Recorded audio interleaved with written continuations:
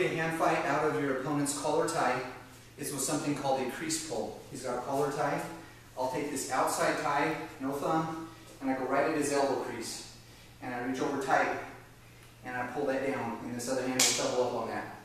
And just this, this alone, he feels a little vulnerable. He's going to have to address this. He's going to want to clear out somehow. But especially if I can get my head on this far side and pull, it's really awkward for him. Okay? But from that, there's, there's three, I guess, setups that I'll show you from a crease pull. It's just a post, a pull, and a pass. So he collar ties, I go crease pull. Um, I'm just going to create, I'm going to lengthen his arm a little bit, and I'll just hit a post. So high C or double. He gives me a pre, uh, collar tie, crease pull, post, double. The next one is a pass. No, pull. Pull the elbow. If you saw our last, uh, a recent video on inside control and outside control, I'm going to go crease pull to outside or elbow control. Get my head on the opposite side and then I pull it to hit a high C. Collar tie, you turn this way.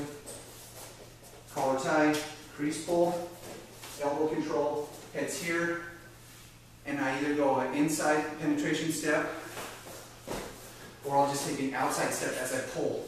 But I'm pulling him over the top of me. So uh, collar tie, crease pull, outside step high C. Right? So we did post, pull, and clear your head, almost like you're combing your hair.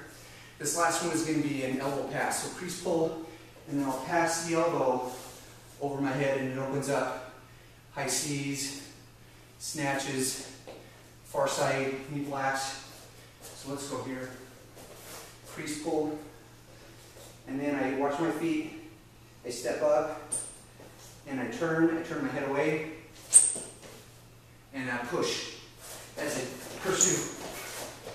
And right here, since I like the fireman's or outside fireman's, there's my fireman's or outside fireman's. If he keeps it there, I'll just hit a high C for my feet. So here, crease pull, right there. And whatever it is you want to hit. Maybe I pursue. And don't be afraid to let this develop. Pass it and pursue, pursue, pursue, and see what opens up.